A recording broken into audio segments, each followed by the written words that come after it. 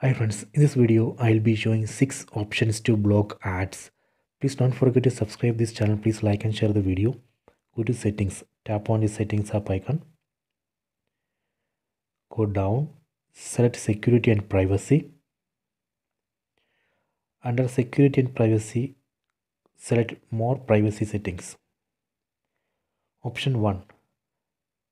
Turn off send diagnostic data. Disable this option tap here. Tap here then tap on ok. Done. So that is the option one. Because we don't know what samsung does uh, does with this data. Option two turn off android personalization service. Tap here and turn off android personalization service. That is the option two. Option three tap on android system intelligence. Tap on clear data tap on all time then tap on clear data.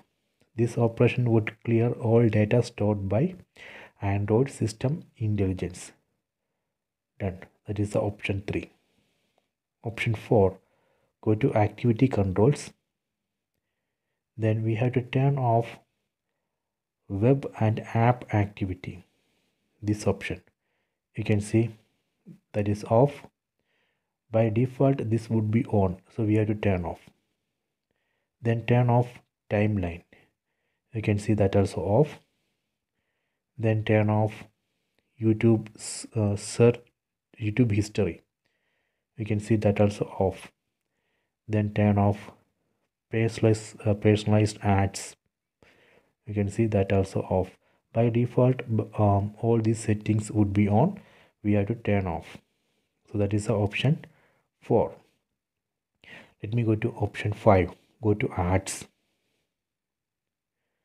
then here we can see advertising id google stores uh, our search history watch history all data against this id later google will use this data to show ads so better delete uh, the delete the data which google has collected for that we can do this uh, reset advertising id tap here then tap on confirm. You can see it has deleted that id then created a new one. So that way we can delete all data which google has collected. That is the option 5 option 6 go to usage and diagnostics. Then disable this option usage and diagnostics. Tap here done because we don't know what google does with this data. Maybe google uses uh, this data to show ads.